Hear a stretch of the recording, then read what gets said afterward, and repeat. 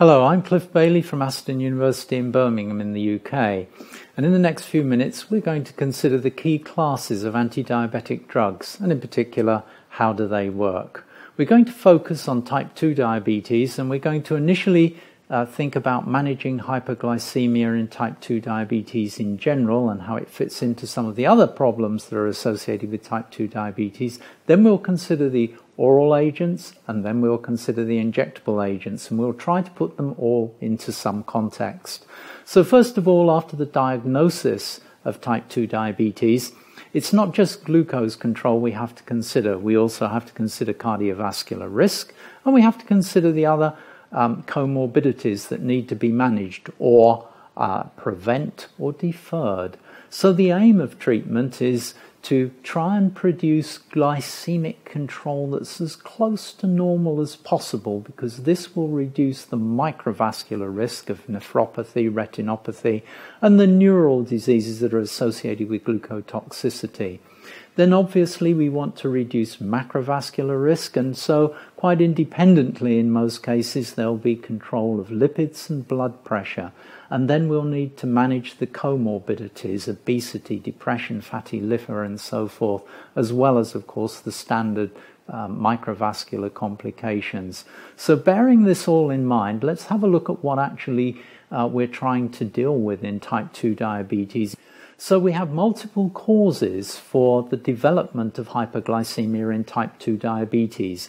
These involve insulin resistance, inadequate insulin production and secretion, but also many other problems as well. So if we just go round this circle of issues, we can see that the liver produces too much glucose. The muscle doesn't get enough of that glucose because, of course, we've got insulin resistance.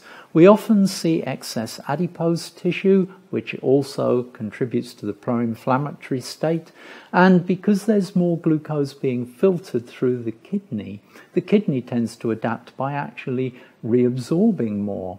On the other side of the equation, we can see that there's inadequate insulin production there's usually also an excess of glucagon produced, and there are various defects associated with the incretin effect. That's how uh, hormones from the intestine are able to bolster the effect of the pancreas during uh, meal consumption.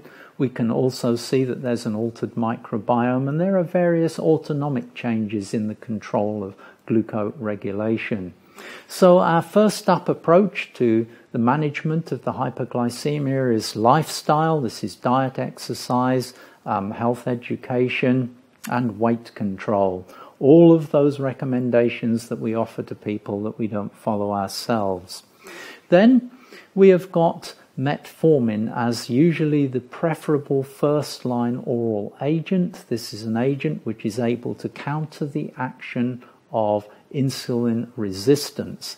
It works in some extent um, dependently on insulin, you've got to have some present, but also a number of its actions are insulin independent. It is able to reduce hepatic glucose production, it is able to have a small effect on improving the uptake of glucose and its oxidation by muscle, and it also has an important effect on the intestine to increase anaerobic glucose metabolism, which is in fact where the um, risk of lactate comes from. Important message for metformin is to make sure there's adequate renal function, consider reducing the dose when the EGFR falls below 60, and stop when you get to an EGFR of 30. Then, of course, if you need more insulin, you could stimulate insulin secretion with sulfonylureas or meglitinides. Sulfonylureas tend to be the longer acting, meglitinides, the prandial insulin releases. Um, we've got pioglitazone, which is a PPAR gamma agonist, which is able to act firstly on adipose tissue to increase adipogenesis and to increase lipogenesis, but in making new adipocytes, these are insulin sensitive and they take away ectopic fat from other tissues. And so there is a risk of weight gain here, but there isn't a risk of hypoglycemia, which there is, for example, with agents which stimulate insulin secretion, namely the sulfonylureas and the meglitinides. Then we've got the incretins.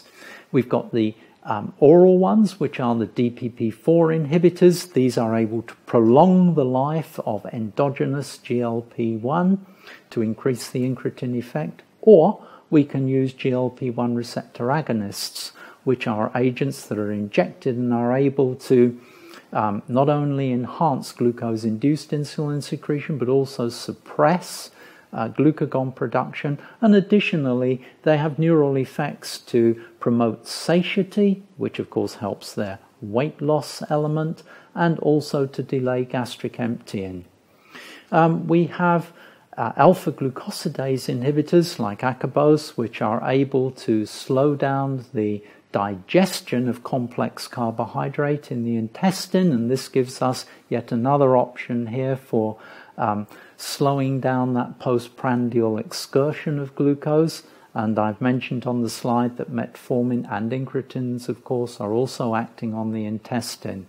And then turning to the kidney, we have the SGLT2 inhibitors. These are the glucosuric agents which are able to um, suppress the reabsorption of glucose from the proximal tubule and create maybe 70, 80, 90 grams of glucose out in the urine, which of course is not only able to lower hyperglycemia in an insulin independent way, but also lowers um, weight through the loss of calories and uh, may create an osmotic diuresis, which I suspect contributes to its uh, blood pressure lowering effect and has been shown, of course, like metformin and GLP-1 receptor agonists, to have potentially beneficial effects on uh, major adverse cardiac events. And there's even some evidence that pioglitazone can indeed benefit um, some major adverse cardiac events, but does run the risk, of course, of